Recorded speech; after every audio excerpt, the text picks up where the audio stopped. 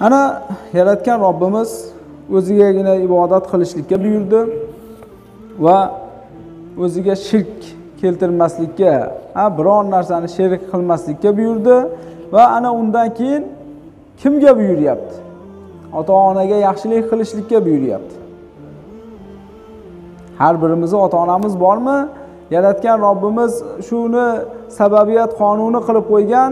Ana har birimizni ota onamiz borligi uchun hozir hammalarimiz mana shu joyda o'tiribmiz.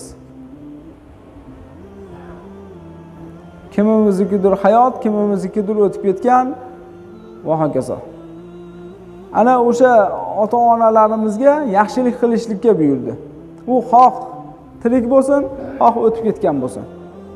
O'tib ketgan bo'lsa ham ularga yaxshilik qilishligimiz kerak hayot bo'lsa ham ularga yaxshilik qilishligimiz kerak.